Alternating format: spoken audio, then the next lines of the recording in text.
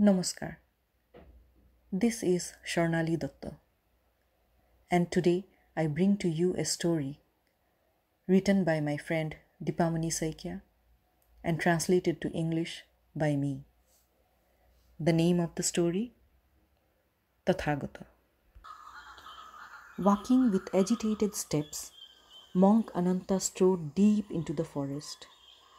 Anger and distress boiling up deep in his chest, he yearned for a stream of fresh water to cleanse him of his turmoil and take him back to his usual old life. The battle within his soul ended in a futile attempt to win over his own self.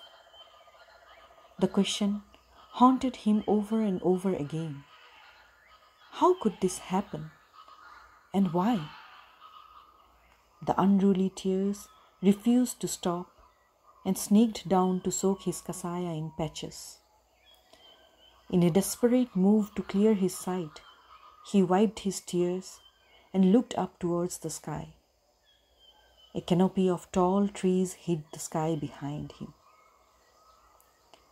Slowly, Ananta lowered his eyes to the ground, and somewhere in between, a face appeared out of his memory the face of a woman, his mother. The face took him back to a small house on the foothills of the Himalayas. He could see a small Ananta walking behind his mother into the forest to collect firewood. Every now and then, his mother would look behind and urge him to come along. Hey Ananta, don't be afraid. Just keep following me. Ananta was always scared of the deep dark forest. He would never look up while walking, for he believed what the village folks said about the jungle. As soon as someone steps into the forest, all the animals, birds, insects, bugs, ghosts, and even jungle dwellers stare at the intruder from the high branches. It would be late afternoon by the time they finish collecting enough firewood for the day. On their way back home, his mother would always insist on walking behind him. Mother, why do you let me walk ahead of you while coming back? asked a bewildered Ananta. If I tell you everything now, what will you learn when you go to the monastery? Let the wise teacher teach you everything you need to know. In three months, you are going to join Bodh Bihar for your schooling. His mother's words froze Ananta and brought him to a standstill. Why do you want to send me away? Why can't I live with you and father? Am I so bad that you don't want me with you? Ananta's eyes welled up in tears. That night, his father told him the story of Buddha Bihar at bedtime. Do not feel bad about yourself, Ananta. You are blessed to be the eldest son of this house. The eldest child of a family is the chosen one. He is blessed to follow the path shown by Buddha away from the woes of all worldly affairs. You will be a monk in the monastery, and it is my fortune as a father to send you on the road to Nirvana. Ananta was awed by what his father said. The native stories of the chosen ones were no less than fairy tales, lulling him to the beautiful and cheerful land of sleep.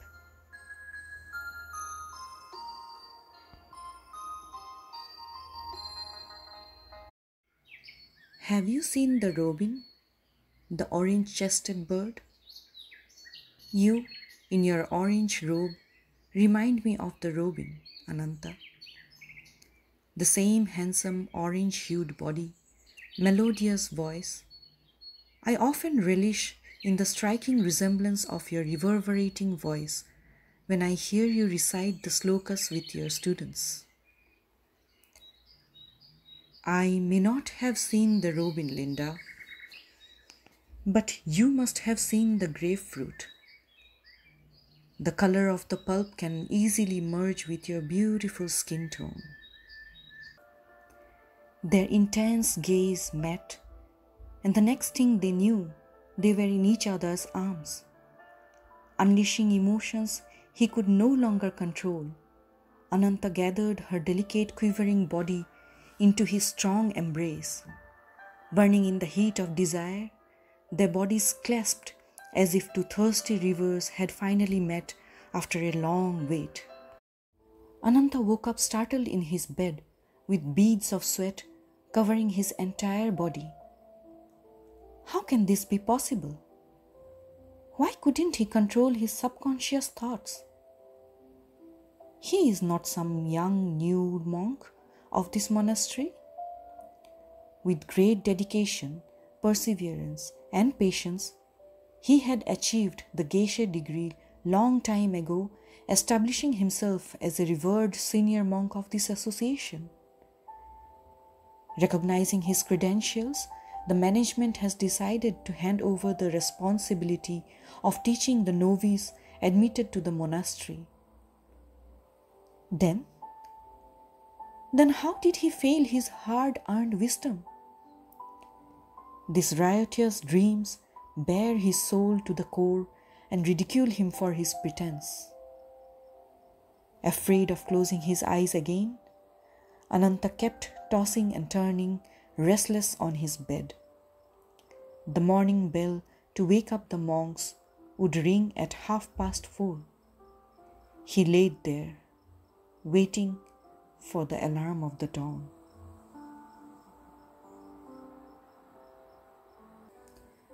The weight was no less than a war within himself. Drowning in his own uncertainties, he was desperate to find stability. Adding to his despair, a long forgotten nightmarish episode came haunting back from the past. It was the time when Ananta and 15 other members were promoted from Samanera to Vinaya Pitaka. They must have been in their early 20s then, an age when hormones of the human body tends to overpower and dominate every decision of the brain. But Ananta and his peers were fortunate.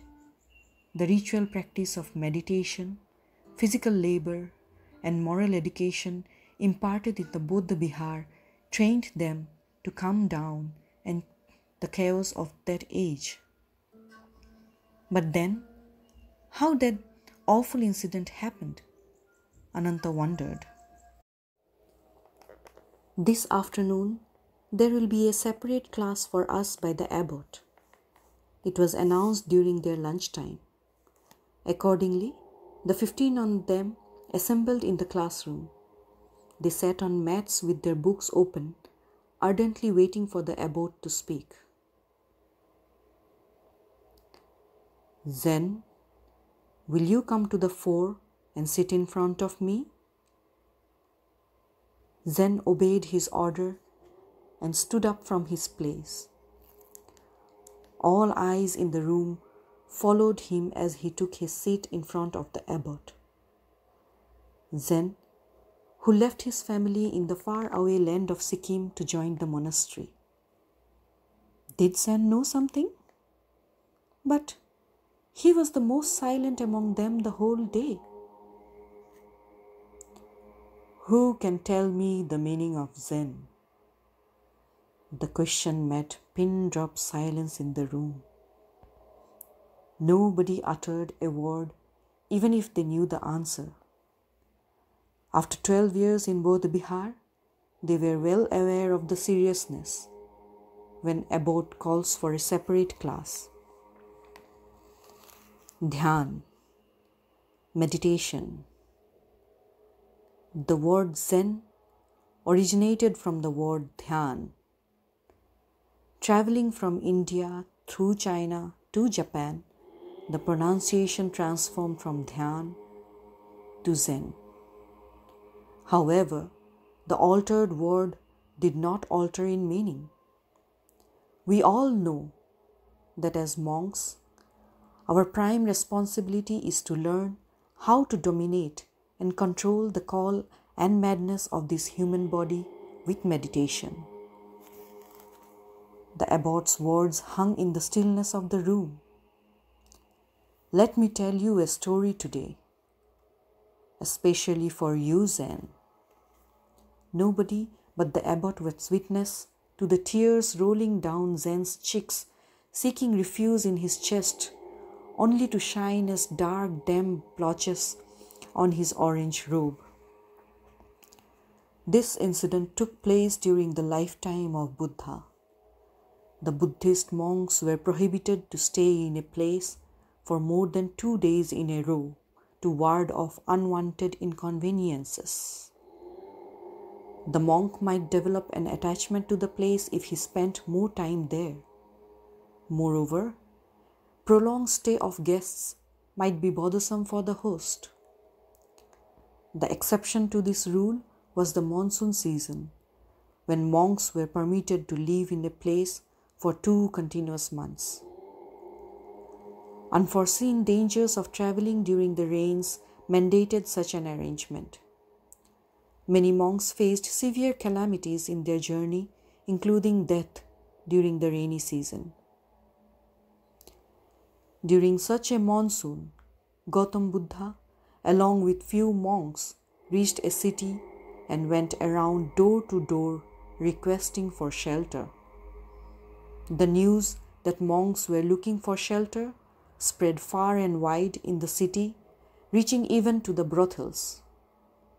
Now, a prostitute approached Buddha's elder brother, Ananda Tirtha, who was also his most dedicated student. Monk Ananda, kindly accept my invitation and grace my home as guest for this monsoon. This request from a prostitute left Ananda Tirtha in a deep dilemma. Unable to come to a decision, he went to Gautam Buddha for a solution. This is a sincere invitation offered wholeheartedly by the ready. You should accept it, said Buddha. Keeping his faith on Buddha's decision, monk Ananda went to the prostitute's place and stayed for that rainy season. The people of the city were shocked to know about this. Gossips started doing the rounds and they started questioning the sanctity of the monks. What kind of dharma is this? How can a monk stay under the same roof with a prostitute? This is not dharma. This is adultery. Everybody in the room was curious to know what happened next, although nobody dared to voice their query. At the end of two months, all the Buddhist monks gathered to begin their journey again, but monk Ananda Tirtha was nowhere to be seen.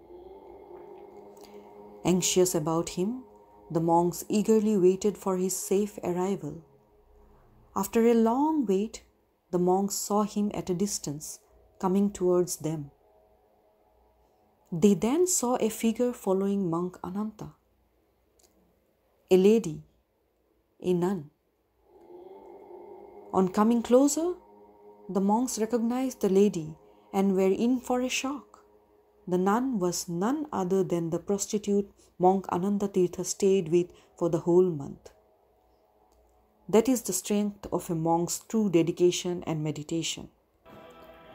That day, after the end of the class, Ananta and others came to know that monk Zen was caught masturbating in his room by a senior monk and reported it to the abbot. Having taken the vow of celibacy, this violation ascertained severe punishment. Monk Zen was contrite and accepted his punishment without another word. The next day, when everybody went out in the city for alms, monk Zen walked a few steps behind the last row of monks. This was a part of his penance. Every eye on the street was on Zen, shooting looks of hatred and anger.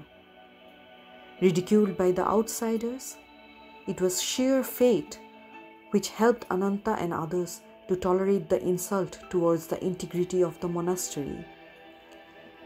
Embarrassed by such a situation, there was no sympathy for monk Zen in their hearts. All they felt for him was hatred for stooping so low.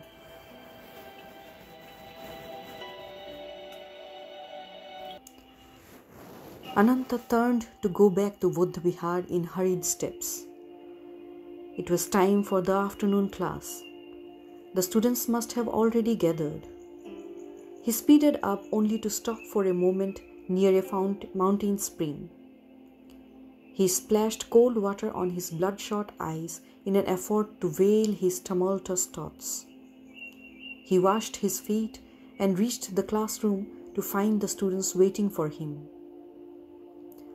Brushing aside all other thoughts, Monk Ananta began the class. At the end of the class, all the pupils gathered their books and left the room in a queue. Ananta was left alone, bathed in the golden rays emanating from thousands of Buddha standing behind him. He himself stood like a lifeless statue, rooted on his spot. The sun rays escaped the thick curtains of the windows to fill the entire hall in brazen hues. A welcoming environment to inspire spiritual meditation. But nothing could bring relief to Ananta's disturbed mind today. After what seemed like eternity, he was brought back to the present by the ringing of the afternoon bell. It took him great effort to find strength in his legs to move and climb down the staircase. A few monks were weeding the monastery's flower garden. The light wind swept through the high branches of the tall trees, lulling the trees to a soft sway. The serenity of the sight would have cleansed his mind of any turmoil had he been the man he was a few days ago. But today, no one could console him. He was a few steps down the staircase when somebody called him from behind. Monk Ananta, please wait. He didn't need to turn around to know who it was. This voice was disturbingly familiar to him by now. He continued to walk down as if he didn't hear anything.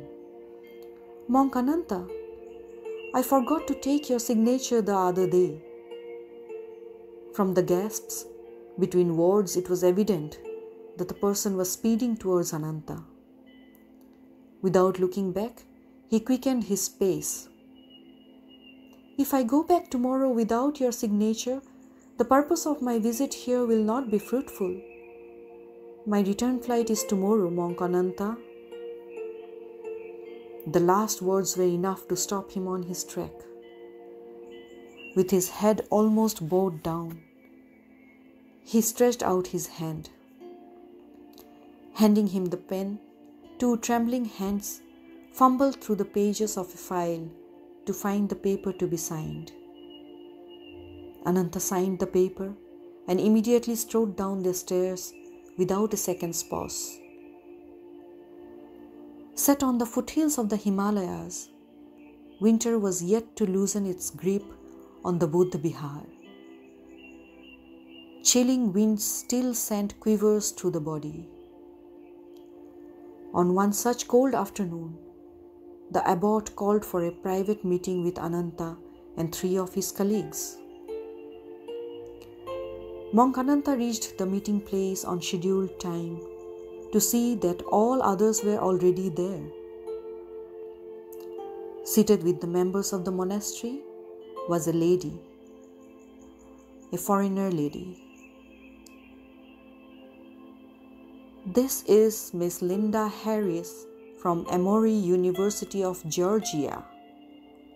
Her long journey from such a faraway land to our monastery is for a very noble cause. Emory University has decided to provide scholarships for a few potential students of our monastery to study about science and technology. It will enable them to improve their knowledge and understanding about these subjects. The students can then come back here and teach the others. The permission has been granted by the authorities. Miss Linda here is to select the prospective students, and you three will help her in this mission. If necessary, let her be in the class to examine the students closely and facilitate her in the selection. The abbot introduced the three of them with her and discussed a few more things about the assignment. At the end of the meeting, all of them got up to leave the room. Monk Ananta, I would like to discuss in detail about this with you tomorrow. How about meeting you in your class? Since the request was addressed to him, he looked up and for the first time his eyes met hers. Without a single word, he nodded in an affirmative reply to her query and left the place to attend to his own work.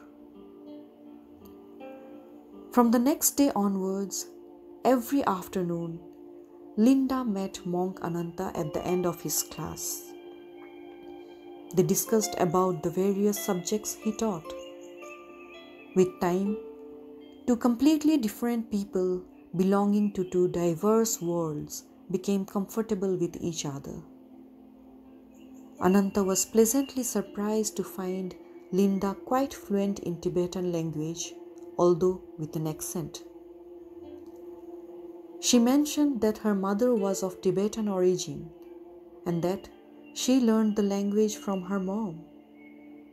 Eventually, their discussions sometimes moved from professional to personal life too. I lost my husband just after three months of my marriage, Monk Ananta.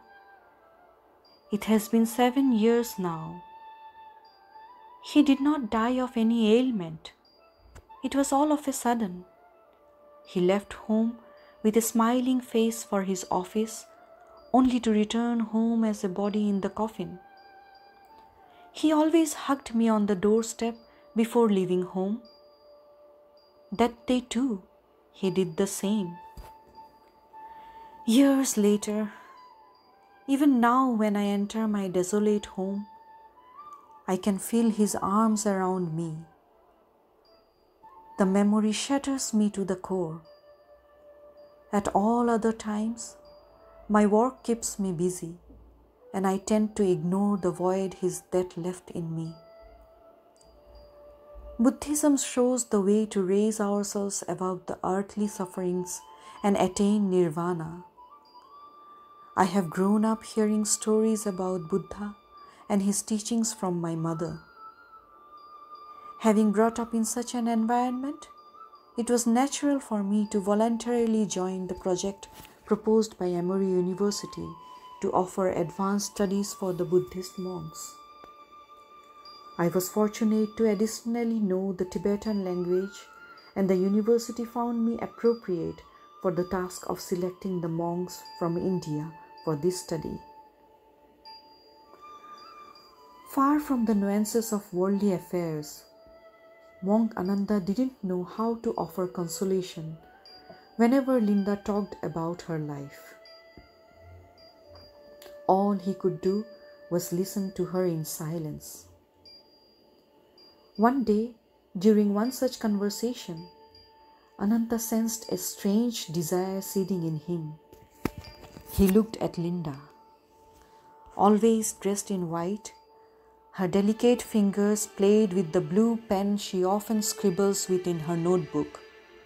All of a sudden, he wanted to clutch her hands and entangle his strong fingers with hers.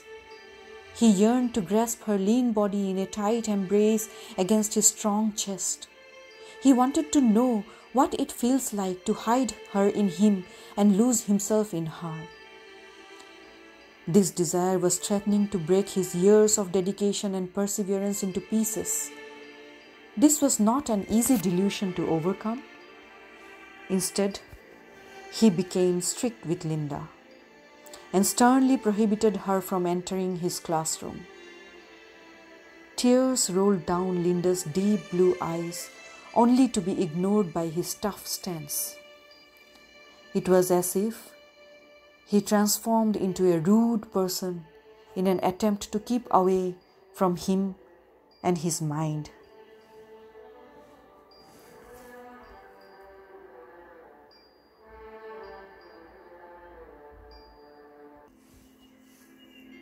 Monk Ananta was pacing up and down the elaborate forest like garden behind the monastery. Five potential students had already been selected for Emory University. They were scheduled to depart for Georgia that day.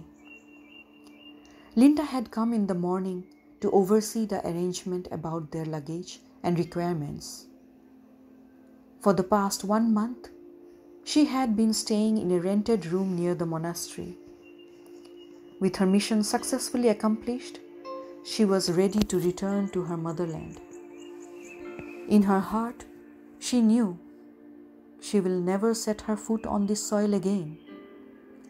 She informed the students that she will pick them up by six in the evening. Monk Ananta tried to keep his distance since morning and spent most of his time in the garden. A few minutes ago, the five students met him there to say goodbye. After they left, Ananta stared at the flag fluttering on the top of the monastery stupa. His gaze shifted to the snow clad Himalayan mountain peaks in the background. As he stood there, he sensed the weight of memory gradually settling down in his heart. The hollowness within finally broke him down, and he fell down in a deep, crying below a tree. I am aware of your inner turmoil, Monk Ananta. The voice of a woman startled him. He could barely lift his head to see Linda, standing at a distance. There was no way he could hide his tears and he locked his welled up eyes with hers. We are never going to win a race against a shadow moving in front of us. No matter how much we speed up, the shadow will still be ahead. But if we change the course of our path to the opposite direction, in a moment, the shadow will be behind us. I deeply regret being the cause of your distress, Monk Ananta. Please forgive me. With these words, Linda went down on her knees, offering her respect with folded hands. And from a distance, rising slowly up to his feet, Monk Ananta's quivering hands blessed her.